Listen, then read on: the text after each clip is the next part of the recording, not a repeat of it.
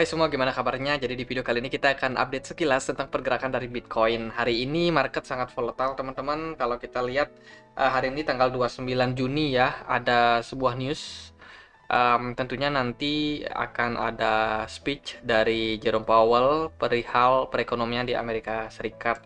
Jadi di sini ada news dari investing.com kalau Amerika akan mengumumkan tentang PDB mereka hari ini uh, tanggal 29 Juni di jam 19.30 ini waktu mungkin waktu setempat. Dan kalau kita lihat untuk perkiraannya ini masih dalam kondisi minus ya min uh, 1,5 persen teman-teman. Jadi ini membuat uh, market sepertinya hari ini agak bergejolak karena tentunya uh, pengumuman ini sangat penting sebelum nanti di bulan Juli itu akan dilanjutkan tentang keputusan apakah Amerika akan mengambil kebijakan untuk menaikkan suku bunga kembali atau tidak untuk mengatasi inflasi mereka. Dan ya belakangan ini banyak sekali ada news-news buruk ya teman-teman tahu uh, mungkin ada yang sudah sempat baca juga seperti uh, Three Arrow Capital itu yang mengalami kemungkinan bangkrut dan lain sebagainya gagal bayar utang terus juga ada Rusia ya yang masih dalam kondisi uh, kesulitan sepertinya untuk membayar utang terancam default. Kemudian ada Cina yang masih lockdown, Amerika yang akan terancam resesi dan banyak sekali negara-negara yang saat ini sedang berjuang untuk memulihkan ekonomi mereka dan ya empat hari sudah teman-teman uh, kalau kita lihat di time frame daily di sini uh, ada empat candle merah ya dan hari ini in progress. Akankah hari ini juga akan ditutup merah? Kalau kita lihat sebenarnya dalam pergerakan Bitcoin beberapa hari terakhir ini menjadi kurang bagus ya. Empat candle merah bukan hal yang bagus. Padahal sebelumnya Bitcoin ini sudah berhasil untuk uh, break up dari pola broadening wedge uh, descending broadening wedge pattern. Kemudian juga ada inverse head and shoulders ya sekalian.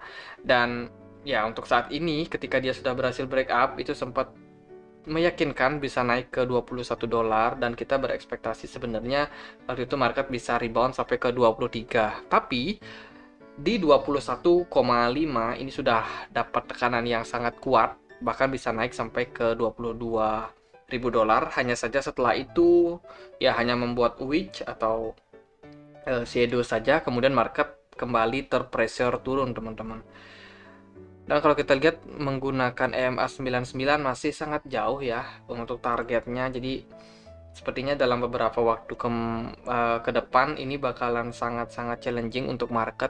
Um, ya kita bisa melihat aja gimana nanti ke depannya. Kalau menurut aku sih harusnya itu market ini sudah mulai bisa naik dulu. Karena kalau kita lihat masa sih market nggak bisa untuk uh, pulih ya meskipun sudah terjadi penurunan yang sangat panjang jadi bisa dibilang harganya sudah sangat diskon.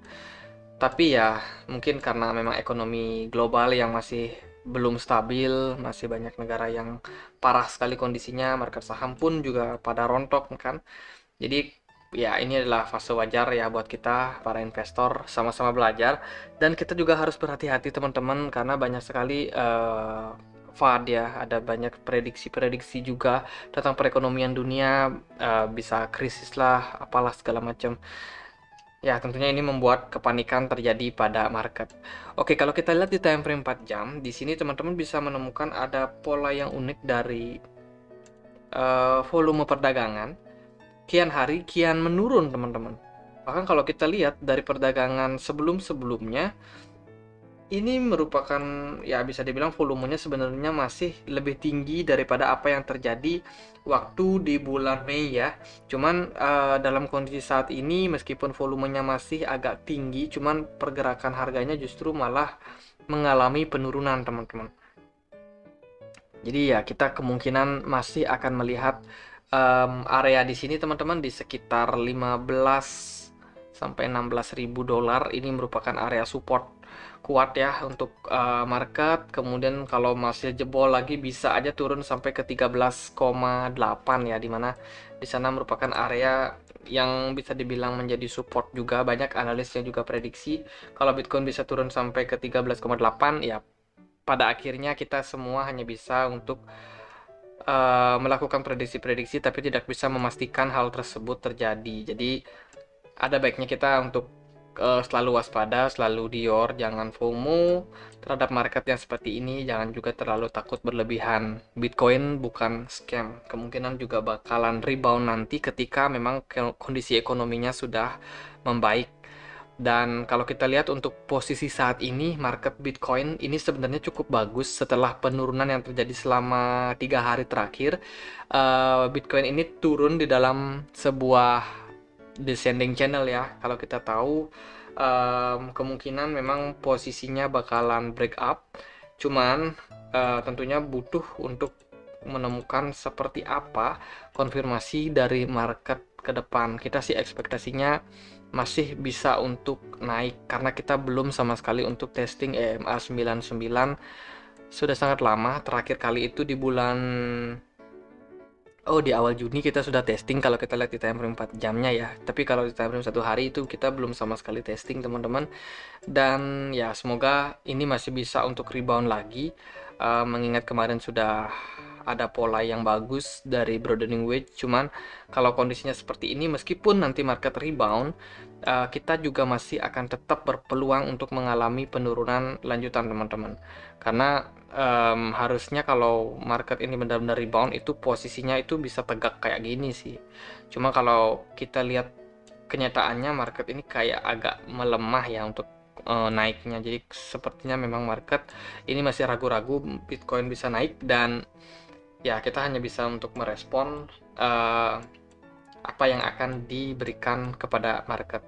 Terus kalau dari time frame 4 jam ini sebenarnya Bitcoin ini lagi ketahan di area support kuat teman-teman di kisaran 20.000 dolar ya. Saat ini Bitcoin sedang berusaha bertahan dan beberapa kali sudah testing level tersebut di 20.000 dolar dan level ini merupakan level yang sangat keramat karena kalau kita lihat ya uh, beberapa kali juga ketika di bulan Juni ini tanggal 15 drop ke sana kemudian di 19 ini berhasil untuk breakdown bahkan turun sampai ke 17 Kemudian berhasil rebound lagi teman-teman dengan sangat cepat di 23 Juni lagi-lagi kita testing level tersebut dan saat ini di 29 Juni kita kembali turun ke level tersebut. Akankah nih market akan mengalami koreksi lanjutan lagi?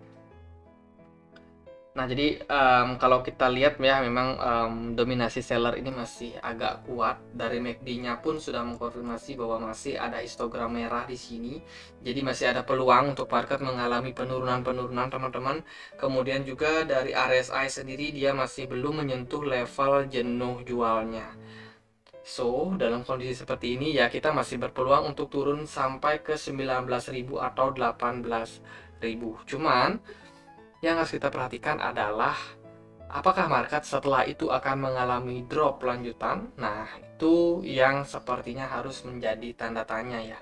Karena kan ini jaraknya udah agak-agak mepet kalau kita lihat kita udah mau closing untuk time frame uh, monthly ya karena sekarang udah tanggal 29 jadi besok tanggal 30 setelah itu kita akan menemukan uh, closing monthly-nya seperti apa dan kalau kita lihat di sini sementara kita um, ya kurang begitu bagus teman-teman untuk closing mandinya. Justru kita bikin candle yang agak panjang di bulan Juni ini benar-benar ya mental kita harus benar-benar terlatih.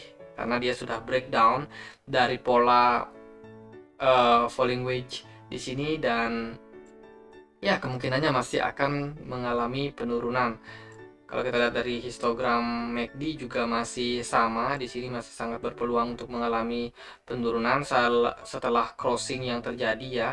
Dan ini benar-benar sangat menekan market teman-teman. Jadi karena kondisinya seperti ini, kita eh, yang mau serok di bawah nanti mungkin bisa lebih sabar dulu. Uh, sepertinya belum waktunya kita bisa tunggu posisi-posisi yang lebih murah mungkin sampai di 15.000 atau kalau bisa sampai 10.000 ya kenapa enggak? Jadi ya lebih baik untuk wait and see aja buat para investor. Tapi buat para trader tentunya bisa untuk selalu memanfaatkan kondisi-kondisi seperti ini untuk mengambil profit ataupun ya mendapatkan keuntungan dari trading-trading. Dan aku sendiri sih biasanya menggunakan strategi buy on weakness. Jadi kita mencari level-level di mana market ini bisa dibilang ketahan nih di area support kuatnya. Dan pilihanku sih di area 20.500 ribu dolar. Ini merupakan posisi yang di mana kita itu bisa sebenarnya untuk melakukan akumulasi.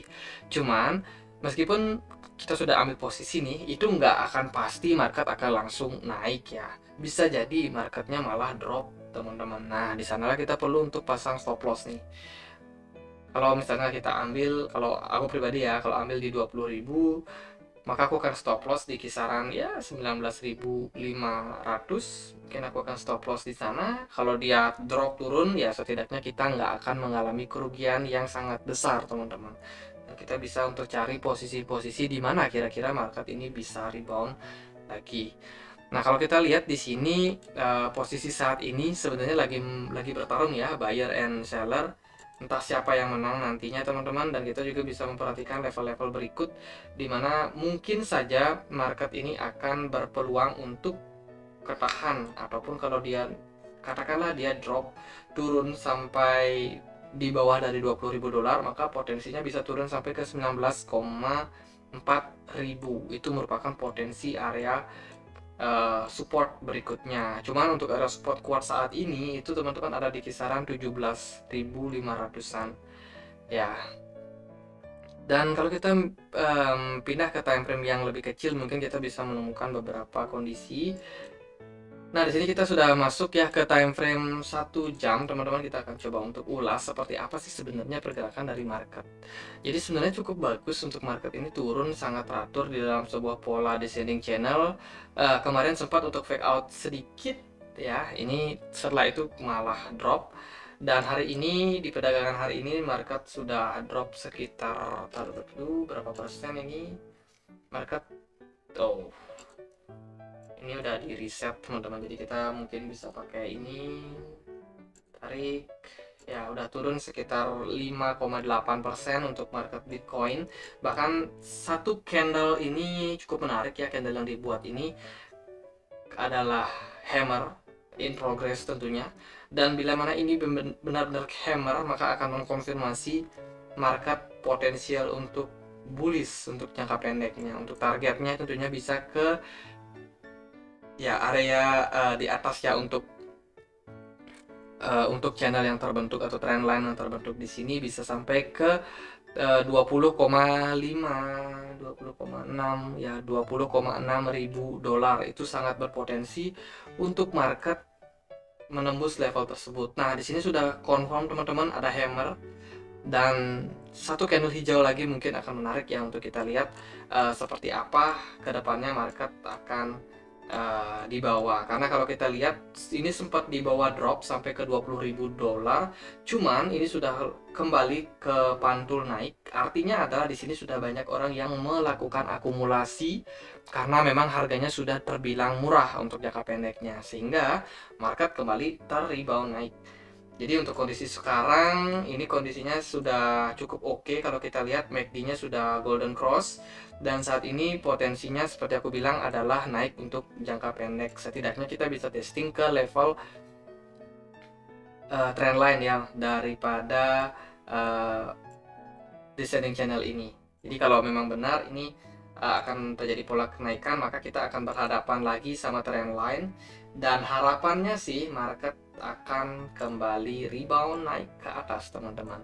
Nah jadi kalau teman-teman bingung kenapa hari ini drop sebenarnya ini adalah kekhawatiran dari market ya tentang uh, isu dari uh, eh, PDB Amerika Serikat ini. Jadi pembacaannya ini sudah bisa dibilang mengkhawatirkan sebagian orang sehingga memang harganya justru malah drop karena kepanikan yang terjadi pada market. Dan sekarang kita akan menunggu seperti apa nanti pembacaan dari uh, Jerome Powell tentang prediksi ataupun ya uh, pembacaan laporan mereka tentang PDB Amerika Serikat yang akan tentunya berpengaruh sama keputusan tapering ke depan. Jadi kalau kita lihat di sini memang uh, kondisi saat ini market sudah kembali ataupun berpotensi untuk rebound. Ya kita berharap begitu karena kalau polanya adalah descending descending channels ini biasanya sih itu malah uh, break up teman-teman. Jadi kalau kita polanya kayak gini nah ini biasanya adalah potensial untuk break up. Bila mana memang benar break up maka adalah sebuah hal yang bagus untuk market.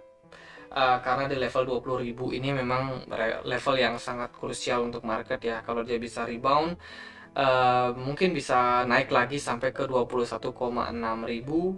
Dan kemudian kalau bisa tembus lagi kita harapkan bisa naik sampai ke 22,6 jadi ya itu aja mungkin gak bakalan tinggi-tinggi amat teman-teman marketnya naik. Cuma kalau itu terjadi ya syukur-syukur bisa naik sampai level sini ya. Dan satu lagi yang teman-teman harus perhatikan bahwa posisi saat ini sebenarnya market ini nggak begitu aman. Nah kenapa nggak begitu aman karena kalau kita lihat ini adalah yes ini adalah sebuah cup dan sangat berpotensi untuk membuat cup and handle teman-teman. Jadi yang harus kita perhatikan adalah meskipun market ini naik mungkin dia bisa ya naik sampai ke level 20,7 tapi kita juga harus tetap waspada sama potensi-potensi terjadinya cup and handle. Lalu di mana area uh, resistance berikutnya kalau market bisa naik yaitu di kisaran 20,8 ini merupakan level yang sangat penting uh, karena level tersebut juga beberapa kali ya bisa menahan market. Dan ya kita lihat akankah market Bitcoin akan bisa untuk naik sampai ke 21,6 ataukah justru malah tersungkur turun lagi turun lagi kalau kita lihat dari indikator tadi sudah aku sebutkan di sini MACD sudah ngasih sinyal buat beli nih ataupun buat naik dulu. Terus RSI juga sudah berada di level jenuh jual dan saat ini ya kemungkinan market harusnya sih di bawah naik dulu. Cuma kalau dari time frame 4 jam di sini kita masih belum lihat konfirmasi-konfirmasi bahwa market ini mengalami jenuh. Oh iya, ini sudah pembentukan candle ya cukup bagus. Um, ini sepertinya ada keraguan-raguan dari pasar akankah ini naik atau turun? Dan kita butuh untuk satu candle hijau lagi. Kalau bisa itu di 4 jam ke depan itu bisa closing sampai di 20,3 ribu. Adalah sebuah sinyal yang bagus buat market. Naik lagi ke level uh, resistance di sini ya di 20,6 ribu dolar. Tapi kalau andai kata candle yang dibuat di time frame 4 jam ini tidak berhasil untuk naik setidaknya ke 20,3 ribu dolar itu sebuah hal yang kurang begitu meyakinkan kalau market akan bisa dibawa naik dulu. Ya, semuanya kita kembalikan ke mekanisme pasar. Panic selling sudah terjadi tadi dan saat ini sepertinya optimism itu akan muncul pada market untuk malam hari ini. Oke, mungkin sekian aja um, pemaparan aku kali ini. Semoga bisa bermanfaat buat teman-teman dan tadi juga aku sudah sempat untuk diskusi juga di sini ada sharing beberapa ya bisa dibilang prediksi-prediksi ya tentang market. Teman-teman yang mau join itu boleh join teman-teman di komunitas kami di Telegram ya. Kalau kalian misalkan baru belajar, kalian belum bisa untuk melakukan analisa ya teman-teman bisa sama-sama belajar di sini. Tapi teman-teman juga harus tahu ini bukan grup sinyal, bukan grup di mana kalian itu bisa uh, mendapatkan info-info yang uh, ya semacam sinyal gitu ya belinya di harga berapa terus jual di harga berapa? Enggak teman-teman. Di sini kita sama-sama belajar grup ini buat diskusi. Jadi kalau kalian mau join ya bisa join. Linknya bisa temukan di kolom deskripsi. Dan semoga bisa bermanfaat. Um, akhir kata saya Andre. Makasih